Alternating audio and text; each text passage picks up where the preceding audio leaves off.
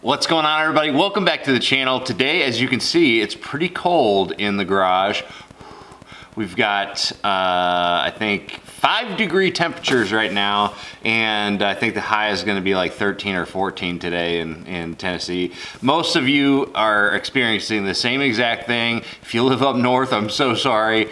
Uh, you're probably dealing with uh, quite the blizzard. But uh, anyways, I, I, was sitting in the deer stand for uh, a couple hours this morning, and uh, didn't see any deer, unfortunately, but I was thinking, I was like, man, I should do a knot video. I should I should talk about the knots that I that I tie because uh, to me, I like to keep things pretty simple as far as the different types of knots that I use for bass fishing. Um, I have a couple other knots that I use for like fishing up in Alaska and things like that. Uh, for bass fishing though, I like to keep it really simple because you know, a knot is only as good as as you can tie it, you know, and and when it's cold and you're under pressure, you know, I, I, it's really important to have knots that that you can tie quickly, effectively, and every single time you're going to do it right. So, um, essentially, to kind of break down my my knot choices, I essentially have three different knots that I use for bass fishing. So We've got um, the Palomar knot, and I do something a little bit different with it sometimes depending on if I'm using monofilament or braid. Uh, sometimes I'll use just a single Palomar, the traditional one, or I'll go to a double Palomar.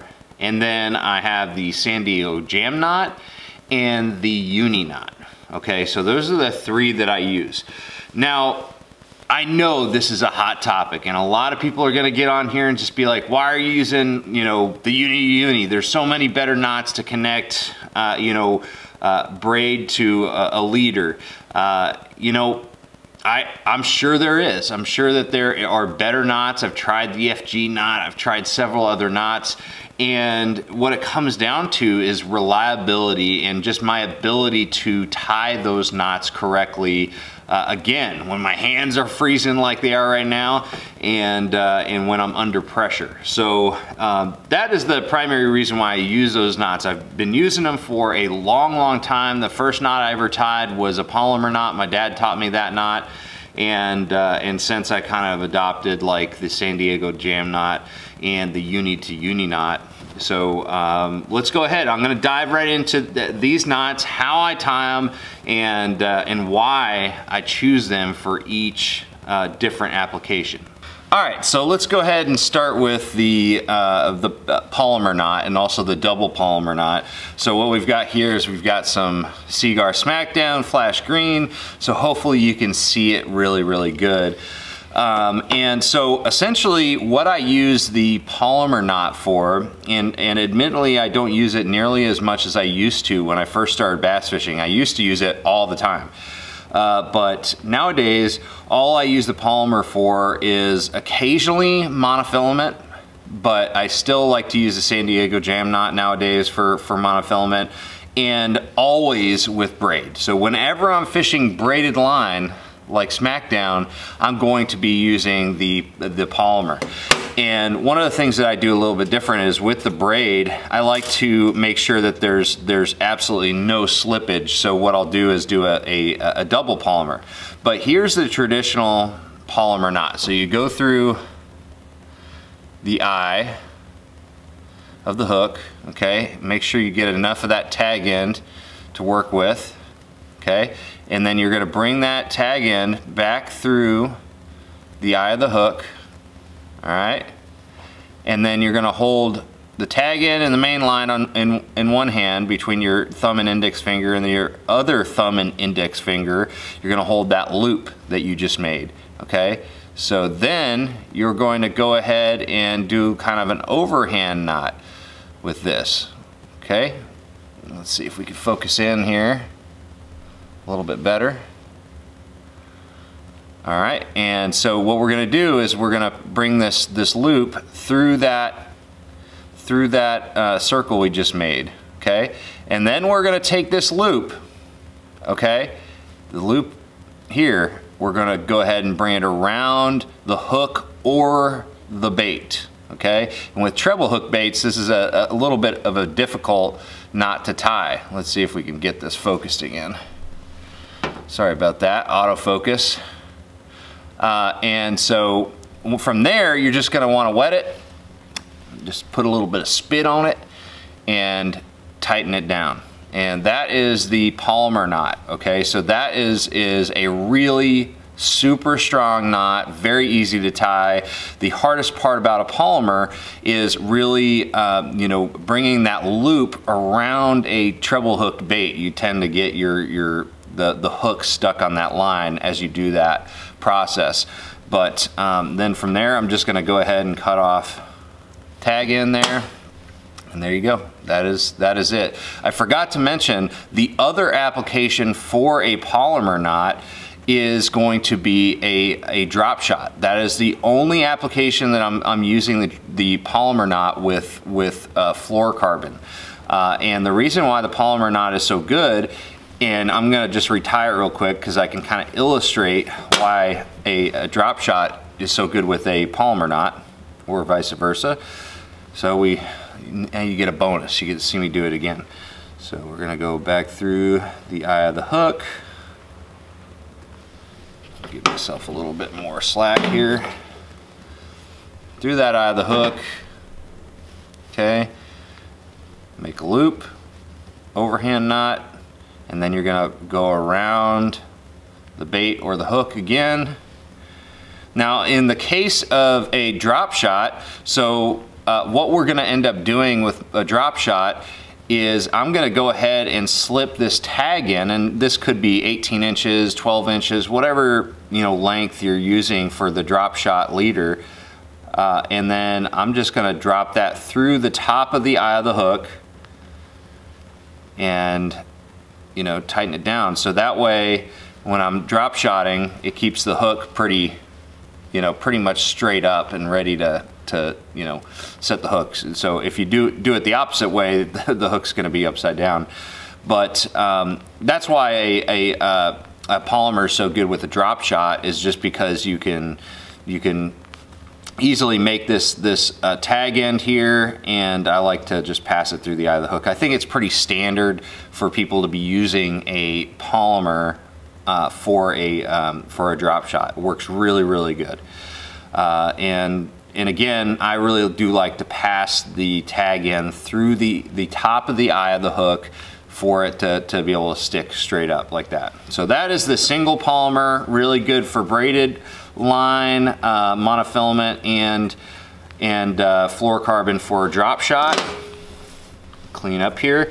All right, so what I'm gonna show you now is the, the, the, the kind of modified uh, Palomar that I use for uh, fishing with braid. So anytime I'm fishing with, with heavy braid and heavy cover, I'm gonna do the double Palomar because braid has the tendency to not cinch down on itself. So it, it will slip a little bit. Now I haven't really had an issue with a single Palomar, but I, I started doing it just in case and, uh, and so I definitely haven't had any issues since then. So the way that you do the, the single Palomar is you do the same exact process tag in through, back through the eye again, you got a loop, tag in and the main line, tag in a main line on one side, loop on the other side. Okay, so we're gonna do the same overhand knot one time. All right, so we got that one. And all we're gonna do is do that again. So one more time, hands are cold. All and then you just do the same thing. You wrap it around the hook, around the bait, and you go ahead and cinch that. Well, first you wet it. Don't ever forget that. Don't ever forget to wet your bait or wet your line. And then you cinch it down like that, all right? So this is not a modification that I suggest for any type of nylon line, monofilament, or fluorocarbon. This is not something that I, I think is, is gonna be beneficial. In fact, I think it's gonna create a lot of, of chafing and potentially burn your line with those lines. But with braid, that's not an issue and it really allows for a stronger knot, I think, and, and way less uh, potential for uh, you know, slippage. So that is a Palomar knot. That is my knot of choice for fishing, you know, braid, uh, a drop shot, and sometimes monofilament. But I don't use it as much with, with fluorocarbon because there have been some people that have noted that fluorocarbon tends to uh, to uh, get weakened with a Palomar knot. Now, whether or not that's true, I don't know. That I kind of went with the bandwagon on that. Um, and I, I, could see how that could be because the, the Palomar not the way it's designed, will tighten up on itself. And uh, when you have a line that tightens up on itself, you have potential for that type of like cutting action that, you know, where it digs into itself. So uh, let's go to the next one. I'm gonna go get a bait because it's a lot easier with a bait to do the San Diego jam knot.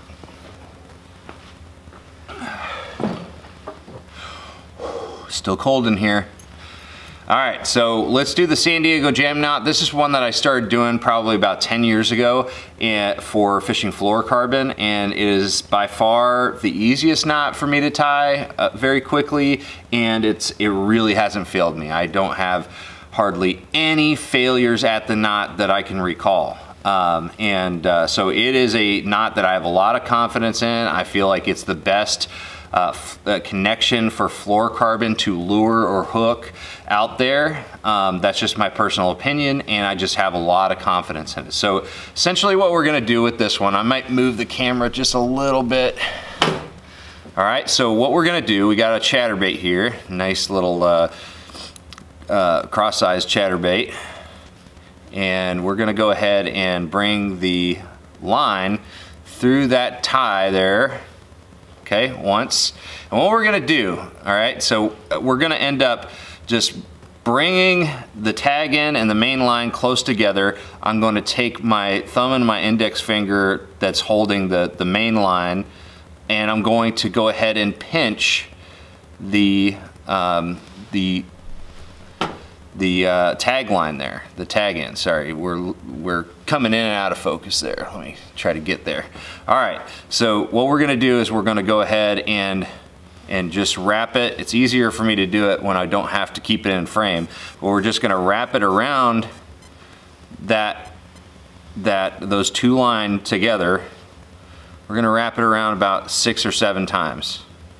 I've already lost count, so that feels about right right there.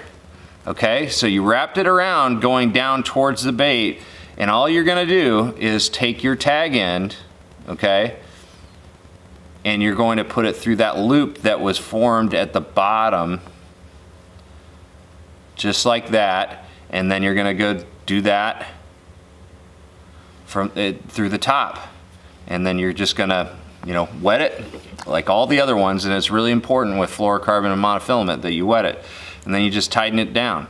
And that right there is a San Diego jam knot. Super, super easy to tie. Uh, very, very quick. I'm gonna go ahead and kind of zoom out and I'm gonna show you like how quickly you can end up tying this, this knot. Um, and uh, and why it's just you know my favorite overall. Uh, and one of the things that that you really get out of this knot is the fact that you know, you don't have to bring a loop around a bait that has treble hooks and, you know, skirt material and all that, like the Palomar, which tends to get tangled in itself or in the bait uh, as you do that. But with the San Diego Jam Knot, you can pretty much keep away from the hooks. So it is very efficient and you rarely have like those situations where you're getting all tangled. And by the way, these are, these are some uh, clippers that work really, really good. These are Fitzgerald uh, fishing clippers, but they're also a, a, really killer split ring tool. Very, very uh, nice little beak on there, and they cut really, really well. So check those out. 44tackle.com. I'll put a link in the description below. All right, so look, I'm gonna zoom out and show you how quickly I can tie this. Let's get this camera, there we go. All right, let's do this. Again, my hands are pretty much frozen right now, so my dexterity is pretty low, but um, I've, I could still tie this knot pretty fast. All right, I think that was more, more wraps than I needed to. Oop, hardest part, getting it through that bottom loop. Top loop's pretty easy, and then wet it, and then tighten it down pretty fast, uh, especially with cold hands. And again, That's what it's all about. Just being able to tie a knot that is it, that is reliable and that you can tie it consistently with cold hands or under pressure. You know, or in the dark too. Like I, I, I can do this in the dark, no light. It's a little bit harder, but all right, so let's get to the next knot. The next knot is a uni to uni knot, which is a connection usually between uh, braid and, and fluorocarbon, but you can also tie just braid to braid uh, or braid to monofilament uh, with this, this knot. So uh, I'm gonna go ahead and show you the uni to uni knot. We're gonna get some fluorocarbon so I can, I can kind of keep track of the, the leader material versus the braided main line that we're using. So real quick, I'm gonna go get that, that fluorocarbon and we're gonna tie the uni to uni. All right, so here we go. Um, this is gonna be a little bit harder to see, but we've got the fluorocarbon line right here, and we've got the braided main line that we're gonna be tying to, okay? So both sides of this knot are exactly the same. They're just the same knot cinched together. And so if you can't quite see it as good with the, uh, the fluorocarbon, you're just essentially repeating what you saw with the braid that's a little bit more visible. So essentially what we're gonna do is we're gonna take the tag end of the main line and the tag end of the, uh, of the uh, leader and we're gonna run them parallel going opposite directions, just like just like this, all right? So once we run those parallel, I'm gonna zoom in a little bit more. Okay, and so once we run those parallel, usually I start with the, the braid, but all you do is you create a little loop here, okay, with the, with the tag end of that, that loop going towards the, uh, the other line, so towards the end of the, the leader material in this case. So what I like to do to keep track of all this is I take my middle finger on my, my right hand in this instance and I kind of keep that loop open. And what we're gonna do is we're going to take that tag end and we're going to pass it over the leader material and the, the, um, and the, the you know, main line that we're tying right now. And we pass it through that loop. And we're gonna do that six times. Two, three, four, five, six. So it really helps to keep your middle finger in that loop to keep it open, okay? So that's kind of a, a big key. So what we're gonna do from there is we're just gonna cinch that down. Again, I would, I would normally wet it. The slower you go, the better it's gonna kind of uh, come together there. Um, and then we're gonna turn around. We're gonna do the same exact thing for the fluorocarbon leader. So we're gonna create that loop, okay? So the, the, the tag end of that, that fluorocarbon is pointing towards the main line. All right, and so we're going to loop that tag end through the, the, the circle there six times. So one, two, three, four, five, six. All right, and then we're just going to go ahead and tighten that down. All right, so the fluorocarbon is gonna be a little bit more uh, rigid, so it doesn't, it may not lay out perfectly when you initially start tightening it. And again, you wanna wet it. I'm not gonna wet it in this instance, but, and just tighten it down slowly. And that right there is the uni to uni knot.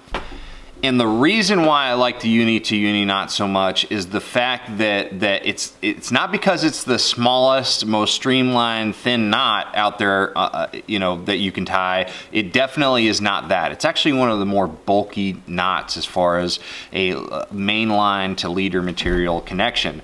However, to me, it's the most reliable, it's the easiest to tie, and again, I can tie it with cold hands, and that is the biggest key.